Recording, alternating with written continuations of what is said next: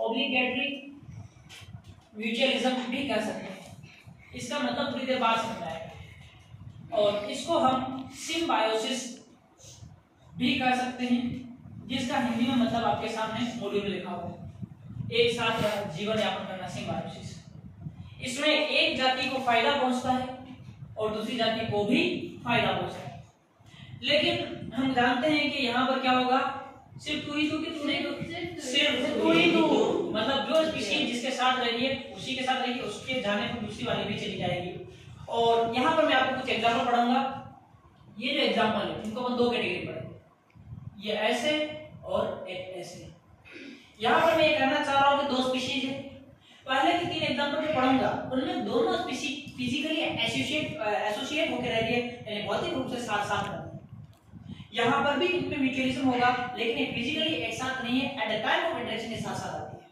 बाकी दोनों अलग हैं। ऐसा मैं बताना चाह रहा आइए स्टार्ट करते हैं, और सबसे पहला एग्जांपल जो इसका अपन लेंगे, आपके मॉड्यूल में कौन सा दिया है?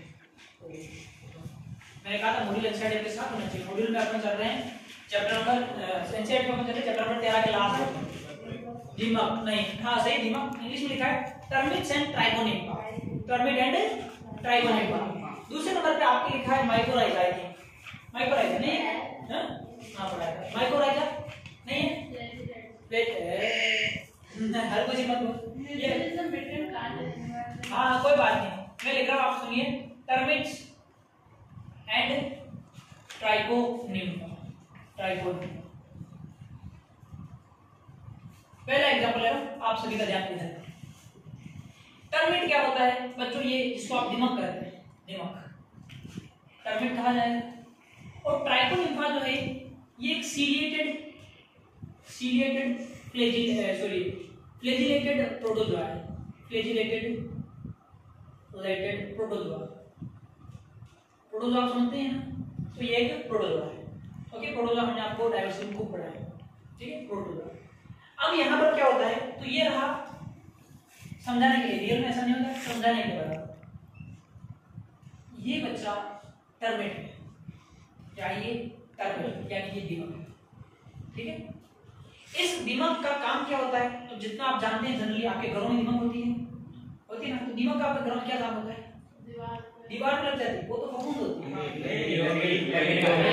लग जाती है है ना तो इसको ज़िंदा रहने के लिए ये वुड पे लग जाती है वुड खाती है मतलब खाने के लिए इसको वुड चाहिए या फिर बोल दीजिए पेपर चाहिए है ना? या फिर बोल दीजिए क्लोथ कपड़ों में भी लग जाती है समझ आ गया?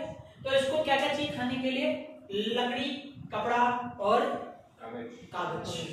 ठीक है? इसकी जरूरतें हैं ये खाती है।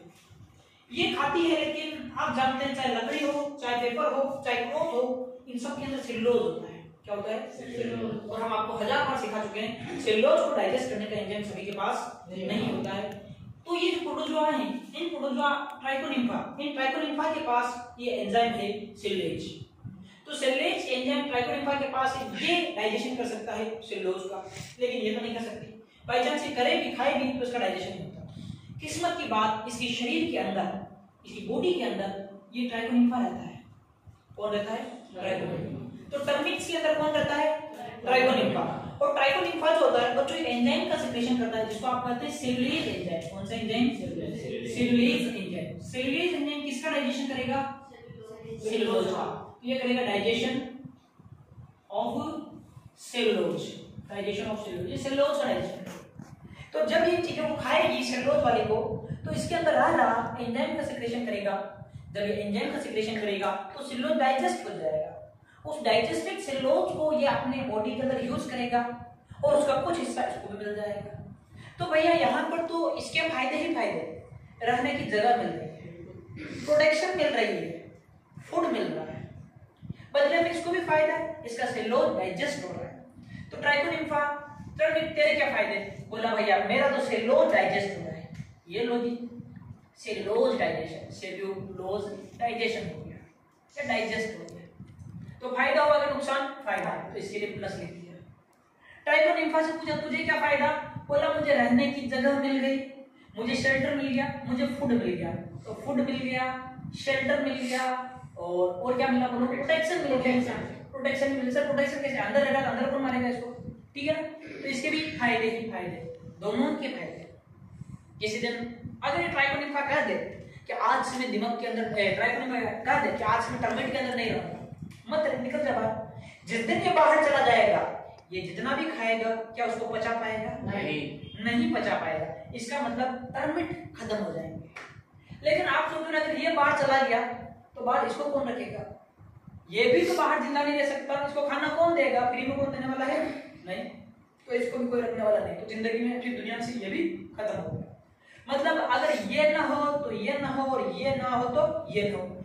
एक जाति के बिना दूसरी जाति का सर्वाइवल मुश्किल हो जाता है, उनकी एग्जिस्टेंस मुश्किल हो जाती है, उनका रहना मुश्किल हो जाता है। इसीलिए कहता हूँ मैं, सिर्फ़ तू ही तू। तू है तो मैं हूँ, तू नहीं तो मैं इसको कहते हैं म्यूचुअलिज्म ये म्यूचुअलिज्म ज़रूरी है, अविकल्पी है ऑब्लिगेटरी मतलब अविकल्पी। और फैकल्टेटिव का मतलब विकल्पी एकदम फैकल्टेटिव का मतलब विकल्पी, क्यों रखते हैं? ऑब्लिगेटिव का ऑब्लिगेटरी का मतलब अविकल्पी। तो ये म्यूचुअलिज्म है म्यूचुअलिज्म का कोई दूसरा विकल्प ही नहीं है, आपको साथ रहना ही होगा। अविकल्पी। सिम्बायोसिस सहजीवी संबंध है। एक दूसरे का साथ साथ रहना सहजीवी संबंध कहलाता है और दोनों को फ़ायदा पहुँचता है। जो बच्चों के कॉमन क्वेश्चन है, वो आपके भी होंगे जनरली जो आप बाद में से पूछने वाले मैं भी डिस्कस कर लेता हूँ। बच्चे पूछते हैं, सर, ये इसके अंदर कैसे आया? ये भी बच्चों के सवाल होते हैं। चलिए बता देते कैसे आया। जब ये इसके अंदर स्पोर्ट्स देता है स्पोर्ट देता है, जब इसका रिप्रोडक्शन टाइम आता है स्पोर्ट दिए और जब ये पोटी करेगा पोटी करेगा तो इस पोटी के अंदर इसके स्पोर्ट्स मौजूद होंगे। किसके? इसकी पोटी में इसके स्पोर्ट ट्राइकोनिन पोटी किसकी?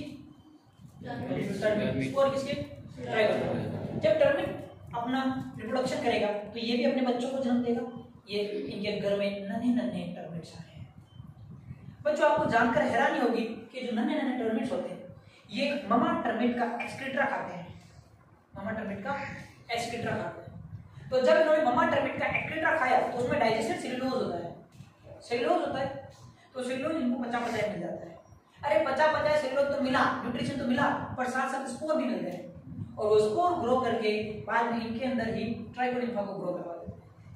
बोलो, बात समझ में आ गई क्या?